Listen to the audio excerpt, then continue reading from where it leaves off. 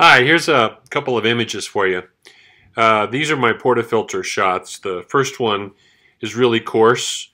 You can see the uh, clumps. That's how fine it's ground, so it comes out with a little bit of clumps so it sticks together better.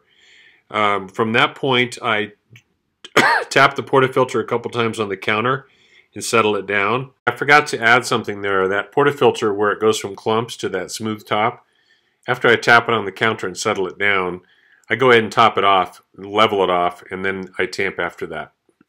And the next picture is how full the portafilter actually is. That's 20 grams of coffee. And then I put the tamper on there because when I finish tamping and get the pressure on there, I tamp it down. The tamper is actually rising above the lip of the portafilter. Um, and again, that's 20 grams. And then here's the video that shows what it looks like coming out. I took the spout off. Uh, I don't have a naked portafilter, but I took the spout off so I can actually watch how it comes out. You can see how slowly it drizzles out of there, and that's probably somewhat what yours should look like, only yours will be split between these two spouts. So maybe this is helpful to you. Um, keep in touch. Let me know if I can help. Bye.